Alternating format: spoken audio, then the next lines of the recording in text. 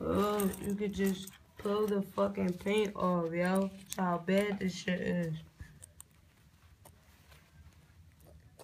Never order this shit off fucking AliExpress. No fucking clothes, yo. I ain't even wasting my bread on there. This fake piece of shit. Ugh.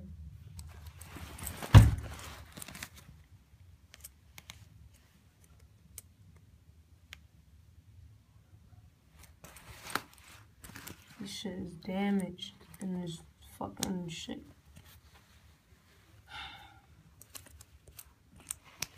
I wouldn't even wear this for one fucking day.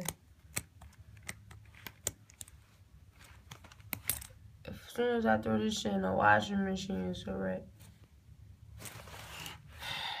This shit.